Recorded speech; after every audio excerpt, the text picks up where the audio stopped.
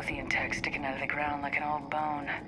Dr. T'Soni, have you ever encountered dinosaur fossils during your digs? No, dinosaurs and other fossils would be paleontology. I'm an archaeologist. I study artifacts left by sapient species. The two fields are completely different, and... Uh, you were joking. No, jokes have specific structures. That was messing with you.